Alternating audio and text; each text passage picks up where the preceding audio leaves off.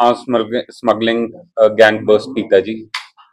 ਜਿਹਦੇ ਤਹਿਤ ਅਸੀਂ F I R number 208 3924 register ਕੀਤੀ ਹੈ ਅੰਡਰ ਸੈਕਸ਼ਨ 2554 ਅਨਾਟ ਆਰਮਸ ਐਕਟ ਉਹਦੇ ਤਹਿਤ ਅਸੀਂ ਆਪਣਾ ਤਿੰਨ ਪਿਸਟਲ 32 ਬੋਰ ਦੇ ਤੇ 30 ਰਾਉਂਡ ਰਿਕਵਰ ਕੀਤੇ ਹੈ 32 ਬੋਰ ਦੇ। ਤੇ ਉਹਦੇ ਚ ਅਸੀਂ ਪੰਜ ਬੰਦੇ ਅਰੈਸਟ ਕੀਤੇ ਹੈ। ਉਹਨਾਂ ਦਾ ਨਾਮ ਹੈ ਮੁਹੰਮਦ ਅਕਬਰ, ਜਾਵੇਦ ਖਾਨ, ਕਾਸਿਮ, ਮੁਕੇਸ਼ ਕੁਮਾਰ ਤੇ ਆਲਮੀਨ ਅੰਸਾਰੀ 30 9 24 ਨੂੰ ਅਸੀਂ ਤਿੰਨ ਬੰਦੇ ਅਰੈਸਟ ਕੀਤੇ ਹੈ ਜਾਵੇਦ ਖਾਨ ਕਾਸਿਮ ਤੇ ਮੁਹੰਮਦ ਅਕਬਰ। ਜਿਹੜਾ ਜਾਵੇਦ ਖਾਨ ਹੈ ਉਹ ਮੁਹੰਮਦ ਅਕਬਰ ਤੇ ਕਾਸਿਮ ਦਾ ਚਾਚਾ ਲੱਗਦਾ ਹੈ। ਇਹ ਸਾਰੇ ਆਪਣਾ ਪੁਤਲੀਗੜ੍ਹ ਦੇ ਏਰੀਆ ਦੇ ਵਿੱਚ ਆਈਸਕ੍ਰੀਮ ਕੁਲਫੀਆਂ ਦੀ ਰੇੜੀਆਂ ਲਾਉਂਦੇ ਆ।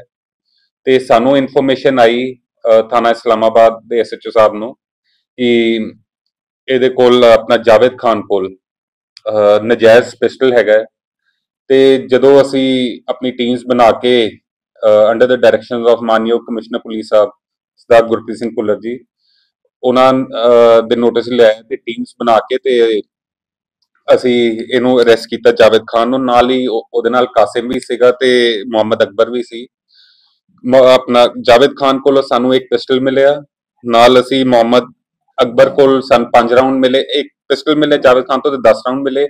ਮੁਹੰਮਦ ਅਕਬਰ ਕੋਲੋਂ ਵੀ 5 ਰਾਉਂਡ ਮਿਲੇ ਤੇ ਇਹਦੇ ਕਾਸਿਮ ਕੋਲੋਂ ਵੀ 5 ਰਾਉਂਡ ਮਿਲੇ। ਤੇ ਉਸ ਤੋਂ ਬਾਅਦ ਅਸੀਂ ਪ੍ਰੀਲਿਮਿਨਰੀ ਇਨਕੁਆਇਰੀ ਪੁੱਛਗਿੱਛ ਕਰਕੇ ਤੇ ਅਸੀਂ ਇਹਨਾਂ ਦਾ ਪੁੱਛਿਆ ਕਿ ਤੁਹਾਨੂੰ ਸਪਲਾਈ ਕੌਣ ਕਰਦਾ? ਹੈ ਤੇ ਉਹਨੇ ਦੱਸਿਆ ਸਾਨੂੰ ਮੁਕੇਸ਼ ਕੁਮਾਰ ਸਪਲਾਈ ਕਰਦਾ, ਜੋ ਕਿ ਗੰਗਾਨਗਰ ਰਾਜਸਥਾਨ ਦਾ ਰਹਿਣ ਵਾਲਾ ਹੈ। ਤੇ ਫਿਰ ਹੋਰ ਪੁੱਛਗਿੱਛ ਕੀਤੀ ਤੇ ਸਾਨੂੰ ਪਤਾ ਚੱਲਿਆ ਕਿ ਉਹ ਅਗਲੇ ਦਿਨ ਆਪਣਾ ਅੰਮ੍ਰਿਤਸਰ ਆ ਰਿਹਾ ਹੈ।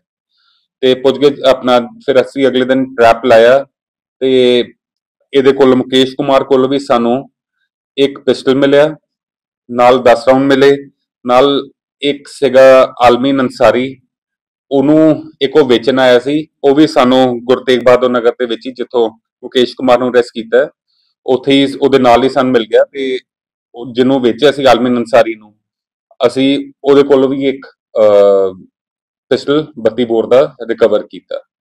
ਤੇ ਹੁਣ ਅਸੀਂ ਪੰਜ ਜਣਿਆਂ ਨੂੰ ਅਰੈਸਟ ਕਰ ਲਿਆ ਤੇ ਵੈਪਨ ਤੇ ਰਾਉਂਡ ਕਬਜ਼ੇ 'ਚ ਲੈ ਲਏ ਹੈ ਤੇ ਜੋ ਵੀ ਅੱਗੇ ਡਿਵੈਲਪਮੈਂਟ ਹੋਏਗੀ ਅਸੀਂ ਤੁਹਾਡੇ ਨੋਟਿਸ ਬੈਕਗ੍ਰਾਉਂਡ ਕਿੱਥੋਂ ਰਹਿਣ ਵਾਲੇ ਦਾ ਕੀ ਪਿਛੋਕੜ ਇਹਨਾਂ ਦਾ ਪਿਛੋਕੜ ਤੋਂ ਰਹਿਣ ਵਾਲੇ ਸੀ? ਇਹ ਪਿੱਛੋਂ ਇੱਥੇ ਦੀ ਆਪਣੇ ਅ, ਪੁਤਲੀਗੜ੍ਹ ਏਰੀਆ ਦੇ ਰਹਿਣ ਵਾਲੇ ਨੇ ਥਾਣਾ ਇਸਲਾਮਾਬਾਦ ਦੇ ਏਰੀਆ ਦੇ ਰਹਿਣ ਵਾਲੇ ਹੈਗੇ ਆ। ਤੇ ਕੁਲਫੀ ਤੇ ਆਈਸਕ੍ਰੀਮ ਦੀ ਰੇੜੀ- ਰੇੜੀਆਂ ਲਾਉਂਦੇ ਜੀ ਪੁਤਲੀਗੜ੍ਹ area। ਰਾਜਸਥਾਨ ਬੰਦਾ ਜਿਹੜਾ ਸੀ ਉਹਦੇ ਨਾਲ ਲਿੰਕ ਕਿਸ ਤਰ੍ਹਾਂ ਬਣੇ ਤੇ ਕਿਸ ਤਰ੍ਹਾਂ ਇਹਨਾਂ ਦੇ ਨਾਲ ਅਹ, ਇਹਨਾਂ ਦੇ ਕੰਮ ਕਰਨਾ ਹਾਲੇ ਅਸੀਂ ਕੱਲ ਹੀ ਇਹਨਾਂ ਨੂੰ ਅਰੈਸਟ ਕੀਤਾ ਹੈ ਆਪਣਾ ਮੁਕੇਸ਼ ਕੁਮਾਰ ਨੂੰ ਤੇ ਬਾਕੀ ਨੂੰ ਅਸੀਂ ਪਰਸੋਂ ਕੀਤਾ ਹਾਲੇ ਅਸੀਂ ਪੁੱਛਗਿੱਛ ਕਰ ਰਹੇ ਹਾਂ ਕਿ ਕਦੋਂ ਦਾ ਇਹਨਾਂ ਦਾ ਲਿੰਕ ਹੈਗਾ ਹੈ ਆਪਣਾ। ਆਪਣਾ ਸਰ ਅਸਾਈਨਮੈਂਟਸ ਤੋਂ ਲੈ ਕੇ ਆ ਚੁੱਕਾ ਸੀ ਆਲਰੇਡੀ ਪਹਿਲਾਂ ਕਿੰਨੀ ਦੇਰ ਤੋਂ ਕੰਮ ਕਰ ਰਹੇ ਸੀ ਹਾਲੇ ਟੂ ਅਰਲੀ ਟੂ ਸੇ ਹਾਲੇ ਤਾਂ ਅਸੀਂ ਪੰਜ ਆਪਣਾ ਤਿੰਨ ਪਿਸਟਲ ਰਿਕਵਰ ਕੀਤੇ ਹੈ ਹਾਲੇ ਅਸੀਂ ਪੁੱਛਗਿੱਛ ਕਰਕੇ ਜੋ ਵੀ ਸਾਡੇ ਨੋਟਿਸ ਚਾਹੇਗਾ ਅਸੀਂ ਤੁਹਾਨੂੰ ਇਨਪੁਟ ਆਉਟਪੁਟ ਕੀ ਸੀ? ਕਿਨਾਂ ਨੂੰ ਸਪਲਾਈ ਕਰਨੀ ਸੀ ਸਪਲਾਈ ਤਾਂ ਇਹਨਾਂ ਨੇ ਕੀਤੀ ਹੀ ਜੀ। ਜਿਹੜਾ ਮੁਕੇਸ਼ ਕੁਮਾਰ ਹੈ ਉਹਨੇ ਚਾਰ ਜਣਾਂ ਨੂੰ ਸਪਲਾਈ ਕੀਤੀ ਹੈ ਜੀ।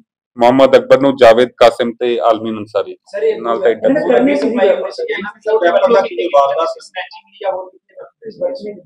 ਇਹ ਕੋਈ ਨਾ ਕੋਈ ਦੇਖੋ ਇਲੀਗਲ ਵੈਪਨ ਹੈਗੇ ਆ।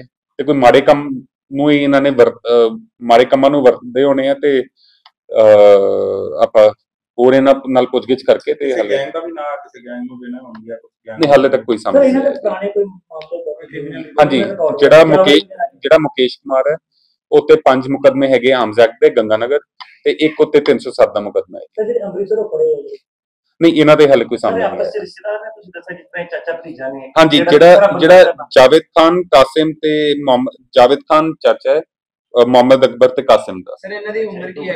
ਨੇ ਤੇ ਦੋ ਹੈ। ਭਤੀਜੇ ਹਾਂਜੀ। ਸਰ ਉਮਰ ਕੀ ਹੈ ਸਰ ਜਿਹੜੇ ਫੜੇ ਗਏ ਆ ਪਿਸਟਲ ਦੇ ਕੰਟਰੀਮੈਂਟ ਨੇ। ਕੰਟਰੀਮੈਂਟ ਇਹ ਇਹ ਦੇਸੀ ਨੇ ਜੀ। ਦੇਸੀ ਹਾਂਜੀ ਹਾਂਜੀ। ਅੱਛਾ ਸਰ ਪਿੱਛੇ ਜਿੰਨੇ ਵੀ ਪੀਸੀ ਹੋਈਆਂ ਸੀ ਜਿੰਨੇ ਵੀ ਵੈਪਨ ਸੀ ਉਹ ਮੱਧ ਪ੍ਰਦੇਸ਼ ਨਾਲ ਰਿਲੇਟਡ ਸੀ ਇਹ ਕਿੱਥੋਂ ਦੇ ਨੇ? ਇਹ ਤਾਂ ਹਾਲੇ ਜੋ ਸਾਡੀ ਸਾਨੂੰ ਜੋ ਪਤਾ ਚੱਲ ਰਾਜਸਥਾਨ ਤੋਂ ਆਏ ਸਰ ਇਹਨਾਂ ਦੀ ਏਜ ਕੀ ਸੀਗੀ ਤੇ ਡਰਗ ਐਡਿਕਟਡ ਸੀ ਇਹ?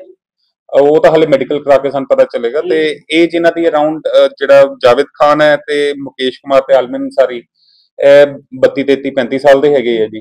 ਤੇ ਜਿਹੜੇ ਕਾਸਿਮ ਤੇ ਮੁਹੰਮਦ ਅਕਬਰ ਨੇ ਇਹ 24 25 ਸਾਲ ਦੇ। ਸਰ ਲੱਗਦਾ ਨਹੀਂ ਵੀ ਕੋਈ ਇਹਨਾਂ ਨੇ ਵਾਰਦਾਤ ਨੂੰ ਅੰਜਾਮ ਦੇਣਾ ਸੀ ਜਿਹਦੇ ਵਾਸਤੇ ਇਹਨਾਂ ਨੇ ਵੈਪਨ ਮੰਗਵਾਏ? ਉਹਦੇ ਬਾਰੇ ਅਸੀਂ ਇਹਨਾਂ ਨਾਲ ਪੁੱਛਗਿੱਛ ਕਰਾਂਗੇ ਤੇ ਦੇਖਾਂਗੇ ਕਿ ਕਿਸ ਪਰਪਸ ਨੂੰ ਇਹ ਮੰਗਾਉਂਦੇ ਸੀਗੇ ਜੀ। ਕਿਉਂਕਿ ਸਰ ਅੱਜ ਕੱਲ੍ਹ ਨਾ ਬੜਾ ਟ੍ਰੈਂਡ ਹੋ ਗਿਆ ਜਦੋਂ ਵੀ ਲੋਕ ਕੀ ਕਰਦੇ ਨੇ ਇਸ ਤਰ੍ਹਾਂ ਹੀ ਵੈਪਨ ਇਲੀਗਲ ਮੰਗਵਾ ਕੇ ਤੇ ਜਿਸ ਤਰ੍ਹਾਂ ਸ਼ੂਟ ਆਊਟ ਆਲਰੇਡੀ ਤੁਹਾਨੂੰ ਪਤਾ ਹੀ ਜਿਸ ਤਰ੍ਹਾਂ ਚੱਲਦੇ ਨੇ ਇਸ ਤਰ੍ਹਾਂ ਦੀਆਂ ਵਾਰਦਾਤਾਂ ਕਾਫੀ ਹੋ ਰਹੀਆਂ ਤੇ ਪੁਲਿਸ ਵੱਲੋਂ ਕੀ ਕੀਤਾ ਜਾ ਰਿਹਾ? ਕਿਉਂਕਿ ਇਹ ਤੇ ਚਲੋ ਤੁਸੀਂ ਟ੍ਰੈਪ ਲਗਾ ਕੇ ਬੰਦਾ ਜਿਹੜਾ ਆਣਾ ਸੀ ਫੜ ਲਿਆ ਹੁਣ ਨੈਕਸਟ ਜਿਹੜਾ ਤੁਸੀਂ ਕੀ ਕਰ ਰਹੇ ਹੋ ਇਹਨਾਂ ਨੂੰ ਰੋਕਣ ਵਾਸਤੇ ਜਿਹੜੇ ਬਾਹਰੋਂ ਵੈਪਨ ਆਉਂਦੇ ਨੇ ਸਪੈਸ਼ਲੀ ਅੱਜ ਪੂਰਾ ਇਨਫੋਰਮੇਸ਼ਨ ਬੇਸਡ ਸੋਸ਼ਲ ਮੀਡੀਆ ਤੇ ਵੀ ਇੰਟਰਨੈਟ ਤੇ ਵੀ ਤੇ ਬਾਕੀ ਹਿਊਮਨ ਇੰਟੈਲੀਜੈਂਸ ਬੇਸਡ ਅਸੀਂ ਆਪਰੇਸ਼ਨਸ ਵਗੈਰਾ ਚਲਾਉਂਦੇ ਆ ਤੇ ਜੋ ਵੀ ਸਾਨੂੰ ਇਨਪੁਟ ਆਉਂਦੀ ਹੈ, ਅਸੀਂ ਉਸ ਦੇ ਉੱਪਰ ਐਕਟ ਔਨ ਕਰਦੇ ਹਾਂ